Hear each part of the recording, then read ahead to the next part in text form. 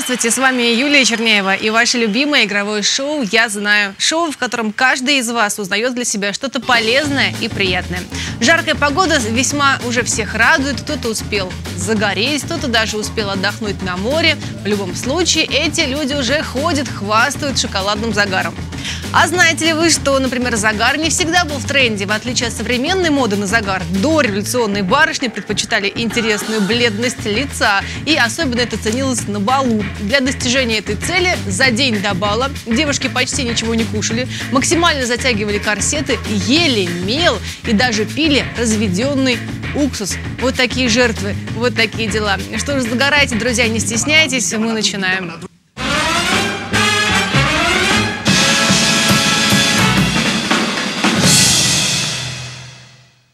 А у нас здесь ребята, которые, я уж не знаю, будут ли загорать э, в этом году или нет, как вообще они будут проводить лето, об этом совсем скоро узнаем. Друзья познаются в... Так я решила назвать нашу сегодняшнюю программу. Здесь с нами замечательные ребята, которые себе совсем скоро расскажут. Это Руслан и Евгений. Здравствуйте. Здравствуйте. Ну, давайте немножко познакомимся с вами, потому что люди вы непростые, интересные, Самаре интересные и, собственно, ну что тут греха таить. Знаменитые, правда? Ну, есть немножко. Ну, давайте сейчас выясним, кто же, в чем же знаменит. Жень, давай начнем с тебя. Расскажи, а, считаешь ли ты себя человеком таким популярным? Я не знаю, и в чем твоя популярность проявляется? Ну, только не стесняйся, ну, застеснялся. прям. это слишком громко сказано, то, что популярный, но в своей деятельности я как бы переношу в массы, и стараюсь э, выделяться из толпы, пытаюсь что-то делать новое. Тем самым, ну, возможно, есть поклонники людям, которые нравится и мое творчество, и тем, чем я занимаюсь. Так, чем ты занимаешься? Ну, начну с того, то, что у нас есть проект Kingpin. Мы изготавливаем бабочки э, дизайнерские вот, э, для свадеб, э, просто для модных, красивых людей. То есть стараемся следить за трендом, выбирать э, яркие ткани. Вот. Также совсем недавно мы зап- запустили э, новый проект, это Чаплин. Чаплин это проект наша кондитерская. Э, Недавно участвовали в ресторанном дне, это был наш дебют. И сейчас мы стараемся развивать эту тему, будем изготавливать э, торты, пирожные, капкейки, чизкейки на заказ, также для свадеб и просто для людей, которые любят сладкое. Ну, э, понятно, какая-то вообще совершенная полярность. Бабочки, торты, как так вот всё А, ну это все, да, стараемся работать э, в разных направлениях, не бросать. Э, Kingpin проект у нас работает, мы его разработали, он у нас работает сейчас на все сто процентов. А, Также начали вот с проектом Чаплин, Э, это предложила мне подруга, поддержать ее. Э, В принципе, идея мне понравилась, так что, так как я сам занимаюсь кулинарией, люблю это делать и имея образование кулинарное, так уж получилось, вот, и ста- стараемся сейчас это все как-то воплотить в реальность. А бабочки съедобные-то будут у вас?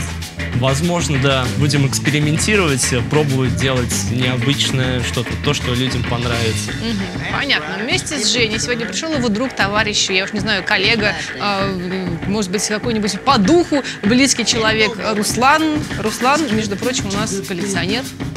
И э, коллекционер, да, не, не монеты собирает человек, не шарфы на стену вешает, не книги у него, ну, может быть, конечно, книги тоже есть. Э, Руслан собирает, как вы думали, что? Руслан, что ты собираешь? Кроссовки. Нормально. Как называется человек, который собирает кроссовки? Сникерхед. Как? как? Сникерхед. Сникер? Да, сникерхед. От слова сникер, от английского слова кроссовок. Ну вот, пожалуйста, товарищи, у нас э, практически здесь, в студии, собственной персоной, настоящий сникерхед. Страшное слово, но что оно вообще в себе подразумевает? Вот, пожалуйста, это ты? Да, это я, то есть э, мои фотографии и также мои кроссовки, которые имеются у меня в коллекции. Сколько? Сколько?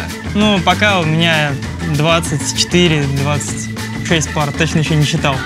А в чем заключается все это мании? Это собирать редкие какие-то кроссовки, которые выходят в а, каком-то тираже ограниченном, чтобы урвать это именно вот адреналин поймать, чтобы именно только у тебя есть. У меня есть некоторые, коллег- некоторые есть издания кроссовок, которые только у меня единственно в Самаре есть. Ну, потому что в своей тусовке как бы все друг друга знают, кому какие уходят кроссовки, кто где покупает с какого города. И как бы Некоторые я покупал с этого города. Единственный.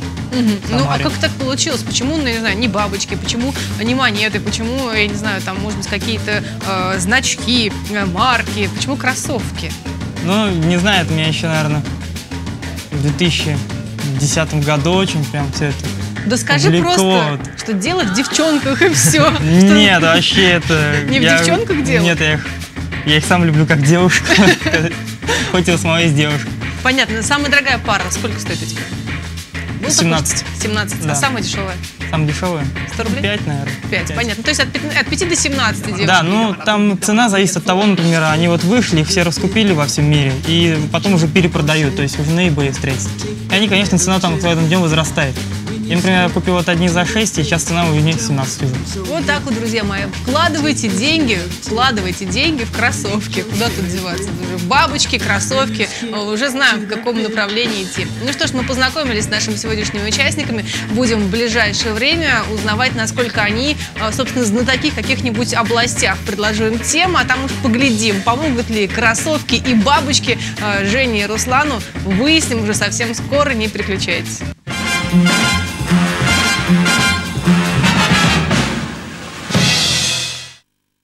сожалению, Сожалеем мы тут о том, что надо было, наверное, ребятам принести какие-нибудь свои экземпляры. Э, Жене бабочку или торт. Почему ты без торта пришел? Вот это вообще непорядок. А Руслану принести счастливый 17-тысячный кроссовок и гладить его вдруг э, помог бы, например, отгадать на какие-нибудь вопросы. Ну, мало ли.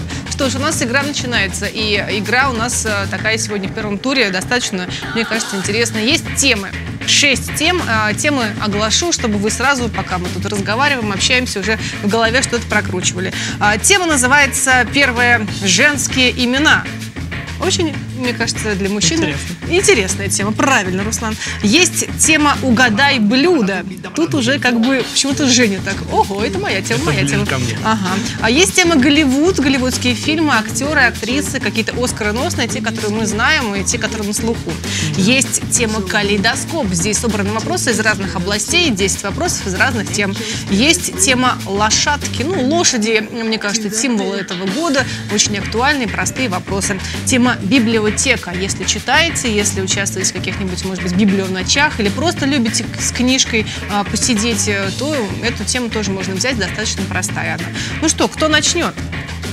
Давайте я начну. Да, Женя решил, э, так сказать, взять э, свои руки. Вдруг еду заберут, да? Да. Вдруг Руслан решит подсидеть, мало ли. А, Руслан, ну, смотри, сейчас Женя будет отвечать на вопросы, а ты коварно загибай пальцы. 10 вопросов, 10 пальцев. Все очень просто. Как э, только он ошибается, минус палец. Ну, в смысле, загибай. Вот, готов? Да. Жень, ты готов?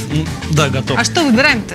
Кулинарный. Ну, я так не играю. Слишком просто. Человека, оказывается, образование кулинарное. Утаил, утаил-то. Ну, ладно, что, поехали. Итак, тема у нас э, «Угадай блюдо». Я называю, а ты отгадываешь. Многослойный торт «Император». Наполеон. Бывает с квасом, кефиром или минералкой. Окрошка. Итальянское блюдо «Круглая лепешка» с начинкой. Пицца. Их делают из теста с начинкой, выпекают или жарят. Пирожки. Горячий алкогольный напиток из красного вина или рома с пряностями. Глинтвейн. Суп русской кухни. В нем огурцы, рассол, крупа встречаются. Солянка. Японская кухня. Кусочек рыбы на рисе. Роллы. Ну, суши, роллы. Специальным образом приготовленная печень откормленного гуся или утки. Французское блюдо. Фуагра. Овощное рагу. Рататуй или фондю. Рататуй. Ну Что так долго думаешь-то?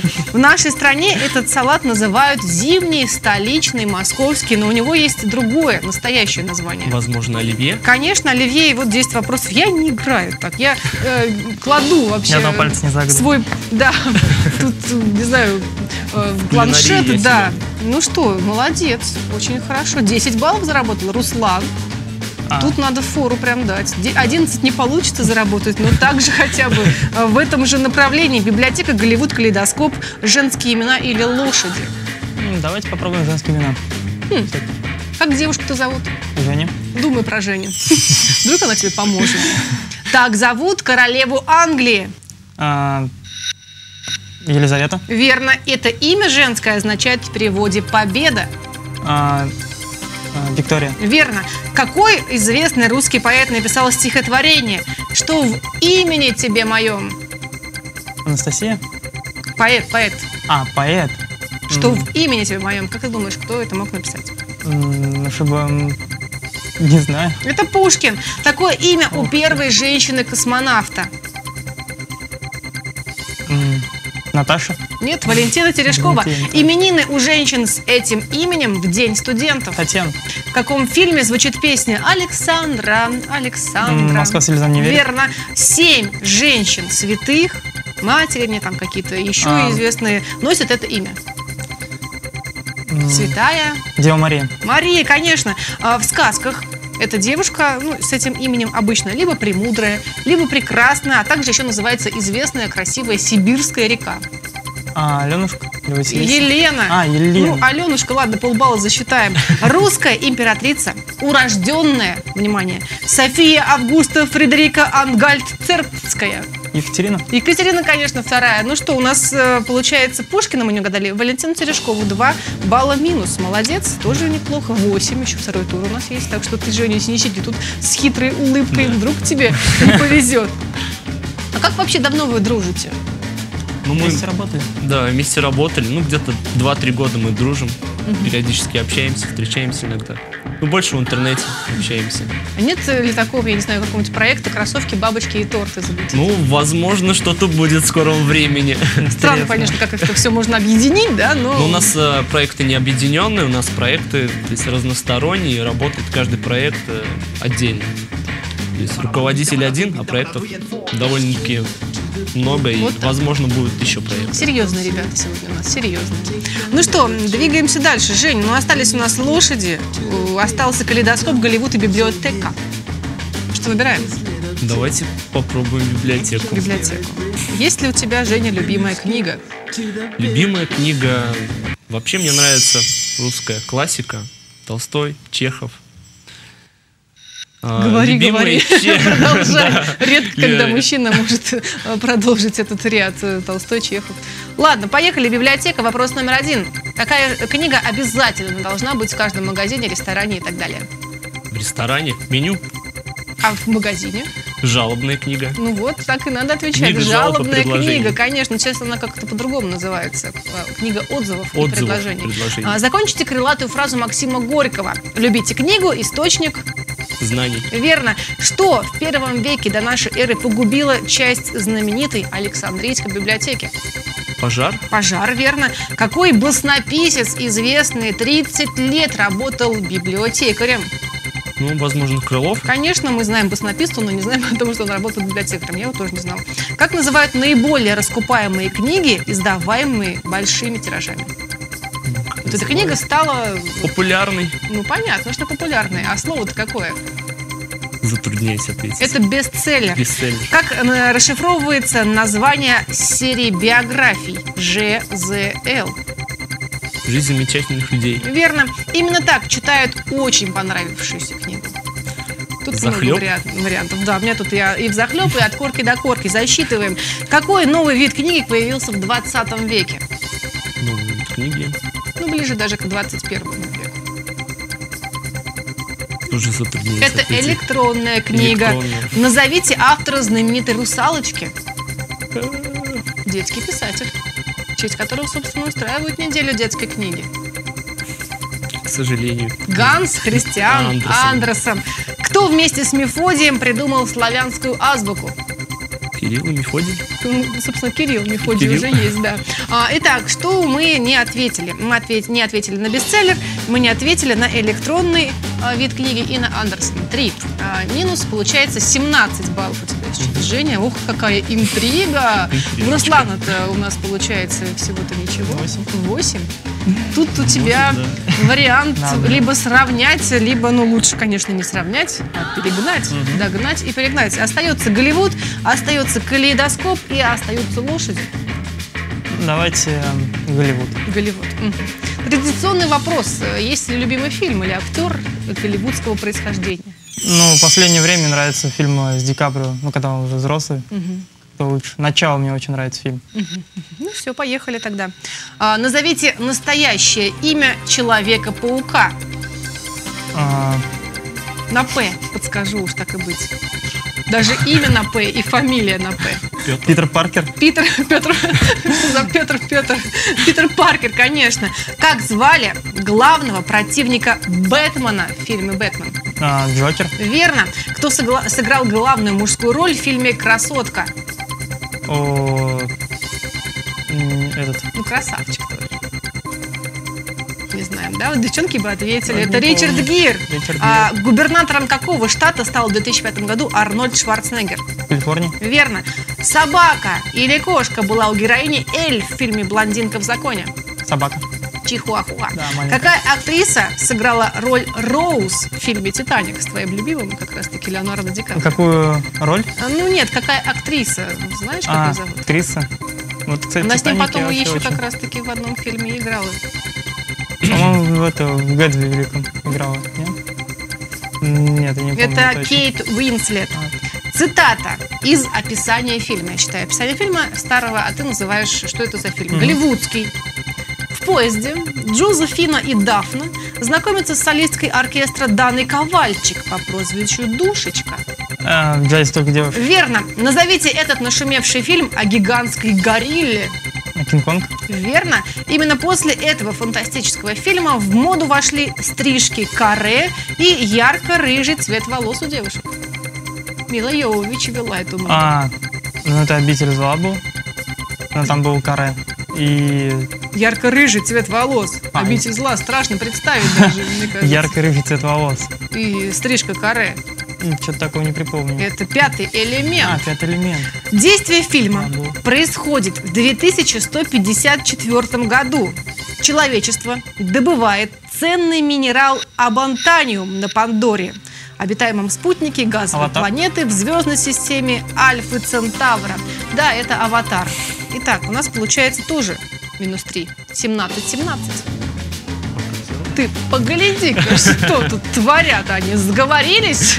Это что, попахивает этим Заговор. преступным сговором.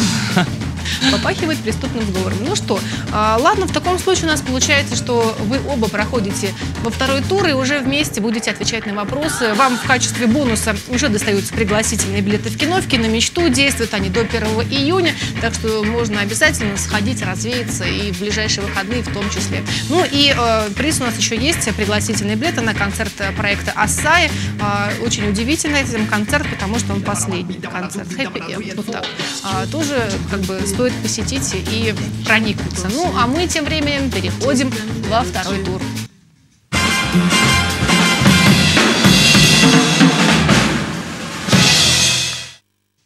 Ну что, у нас второй тур, и здесь с нами, э, скажу, что модники и сковородники, вообще, потому что, ну, тут и кулинары, и коллекционеры, и э, сникерхед, да, и сникерхед с нами. Это Руслан и Женя сегодня, друзья, которые проверяют э, свою дружбу на прочность, на, на прочность, но они ее уже проверили. Ноздря в ноздрю, рука об руку, отвечали на наши вопросы и э, набрали одинаковое количество баллов. А у нас второй тур, и отвечаете вы уже по очереди. Потому что, ну, тут как, как еще по-другому? Если вы будете совещаться, это уже будет совсем нечестно, вы ответите на все вопросы. А вопросов три. Один отвечает на один, другой отвечает на другой, и уже вместе потом третий. Так уж поделим. Решим. Так, а, кто начнет? Музыкальный вопрос. Попробуем. Ну, я сейчас вот скажу, какие вопросы есть, а вы определитесь. Музыкальный есть вопрос, кулинарно-барный вопрос и интернетовский вопрос. Вот давайте решим, на какой из них будет кто отвечать, и на какой вместе.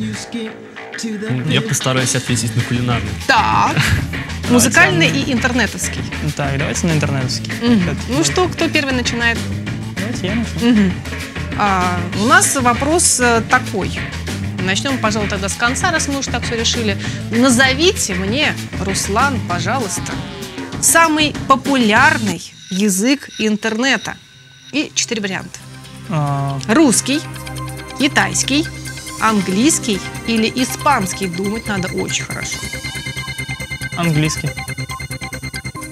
Популярный. Английский? Прям уверен. А китайский тебя не смутил? Ну, китайский, если только из-за того, что Китая больше.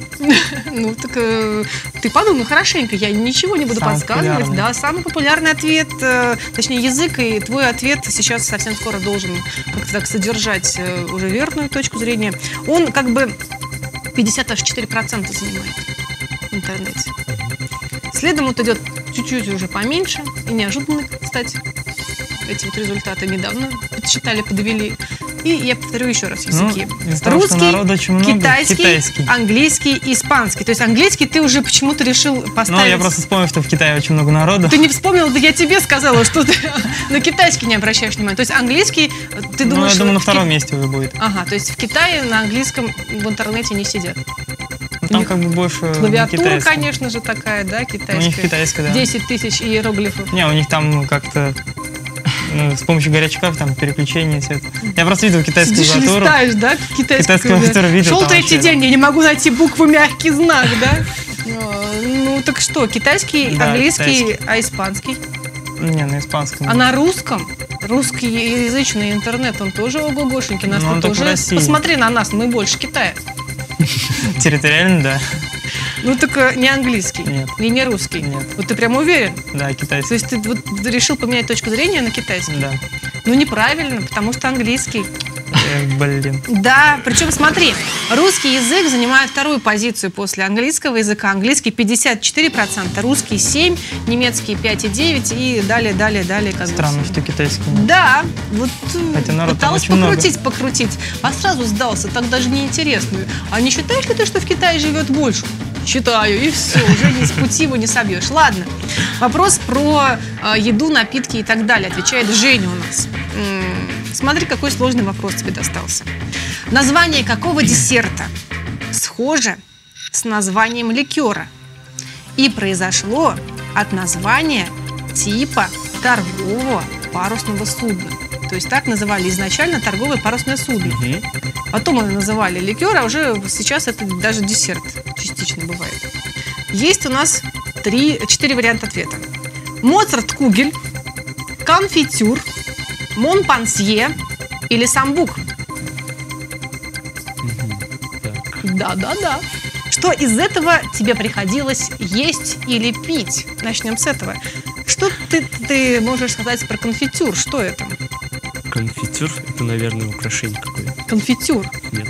Допустим. Но это не совсем украшение. Мне интересно просто. А, что такое Монпансье? Монпатье это, наверное, конфетки. Да, мелкие маленькие. разноцветные леденцы. Леденцы. Конфитюр – разновидность джема. Джем. Мгм. Самбук. Это, наверное, коктейль.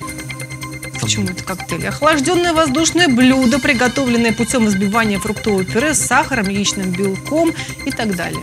Не знал. Моцарт Кугель с этим сложно. Вообще не ел ни разу.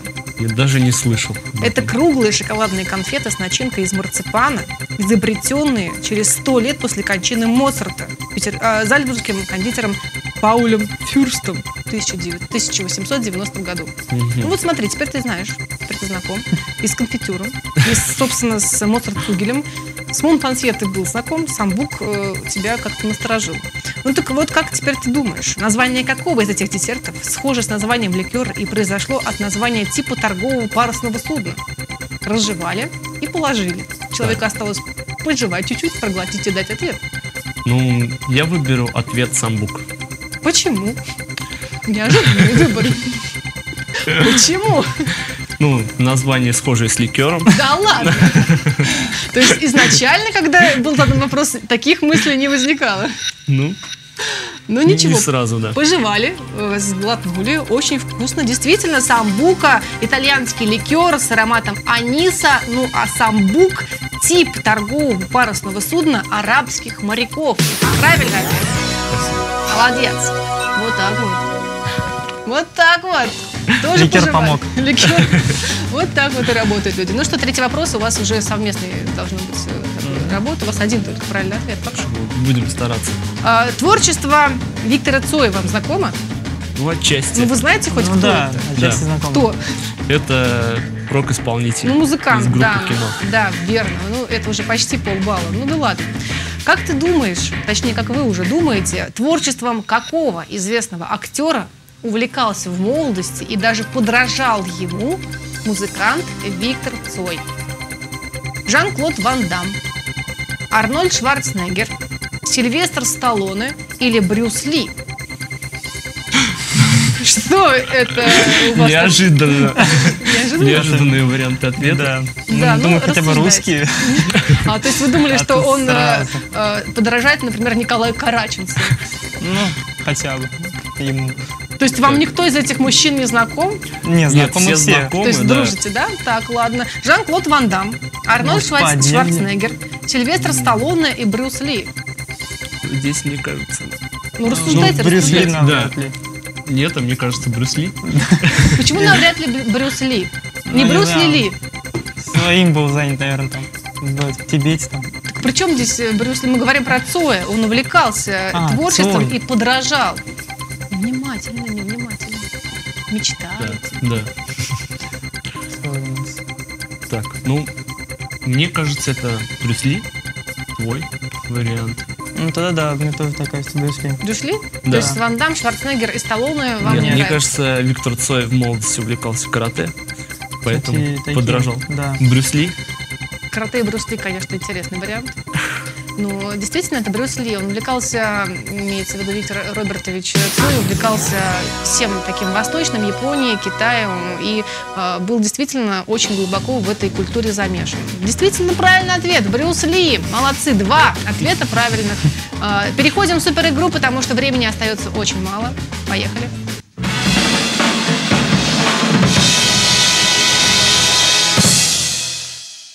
Ну что, здесь все очень просто. Есть поле, на нем 6 таких вот отверстий, 6 каких-то цифр знакомых, я вам надеюсь, от 1 до 6. Раз, два, три, четыре, пять и 6. И за одним только из этих полей спрятан приз. Э, И мы сейчас будем выяснять, за каким полем. Я даже сама не знаю, за каким полем. И сейчас попрошу режиссеров мне на ушко шепнуть, за каким полем спрятан приз. Шепните, а вы не слушайте. Ну-ка, ну-ка. Ну скажите, скажите. Мгм. Ладно, я знаю, а вы нет. Поехали. А, Кто-то из вас начнет первым открывать наше волшебное поле с подарками. Давайте я начну. Жень, давай, давай. Тебе везет сегодня. Давайте попробуем цифру 5. Цифру 5. Точно? Думаю, да. А не каких других? Нет? Все, все 5. Хочу 5. 5, открываем 5. Там нет ничего. Ай, жалко. Да. Ну так что, Руслан, вся надежда на тебя. Цифра один. Почему? Ну, один. Просто Один. То есть не два, не три, не четыре, Нет, не один. шесть. Да почему один? Просто один. Ну, один. Ну, давайте посмотрим, что там за единичка спрятана. Я ни на что не намекаю, не настаивала даже как. Давайте, давайте. Ну да, там вот за цифрой один и был спрятан наш Ну, так неинтересно, они все знают, все отгадали. Вы можете посмотреть, да, что уже за нашими другими цифрами ничего не спрятано.